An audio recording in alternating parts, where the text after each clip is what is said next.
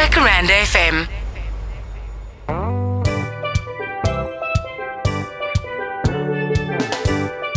Lekker boys.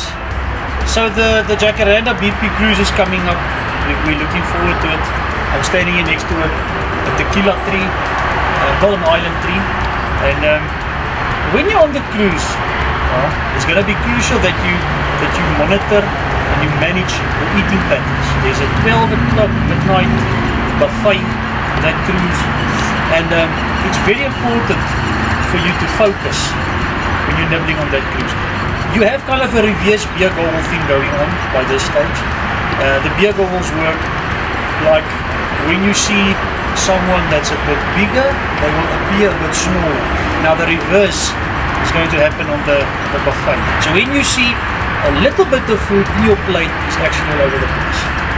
Very crucial, make sure you wash your hands before you eat because 12 o'clock at night, the chances of you eating with a knife and fork, not a lot. Okay? It's gonna be eating, breaking, cleaning, stuff like that. So eat beforehand. Make sure that the midnight snack is only what it needs to be. A snack. Okay. Lekker boys, Jonathan hierso.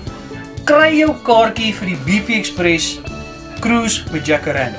Okay? Get going, time is a ticking and you're gonna miss out.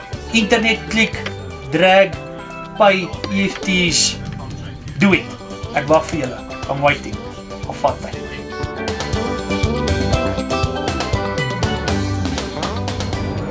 Jacaranda FM.